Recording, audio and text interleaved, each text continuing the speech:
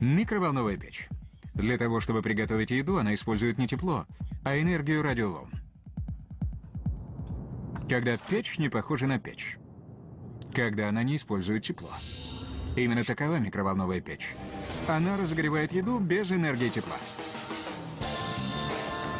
На самом деле у микроволновой печи больше общего с радиоприемником, чем с обычной плиткой. Почему? Потому что она готовит еду с помощью радиоволн. Как? Вот в чем подвох. При соприкосновении микроволны и вода нагреваются. Для того, чтобы разогреть продукт в микроволновой печи, в нем должна быть вода. Даже в капле воды содержатся миллионы молекул. При попадании в них микроволновых лучей они начинают раскачиваться, врезаясь друг в друга. В процессе этого трения выделяется тепло.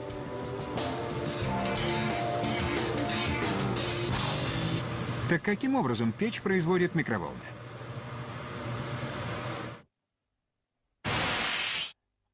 Микроволновая печь состоит из духового шкафа, панели управления, волновода, вращающейся подставки, трансформатора, конденсатора и, наконец, магнетрона.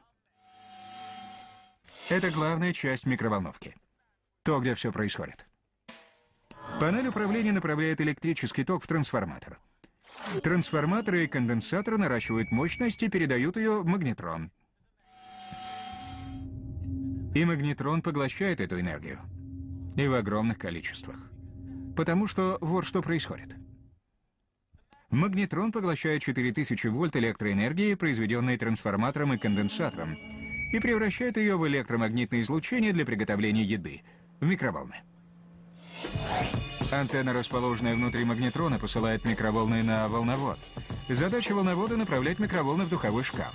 Стенки шкафа сделаны из металла, и металл отражает микроволны как зеркало, так что они отскакивают от стенок.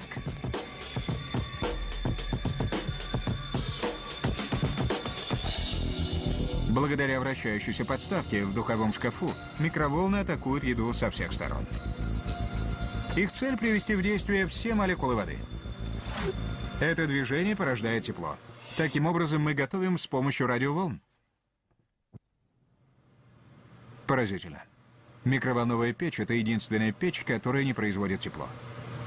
Она производит микроволны и радиоволны, которые производят тепло. И все благодаря магнитрону. С помощью высокого напряжения магнитов он создает мгновенное электромагнитное излучение, те самые полезные микроволны — а затем нужно немного воды, которая уже находится в пище, и... Просто. Как только молекулы воды приходят в движение, можно готовить.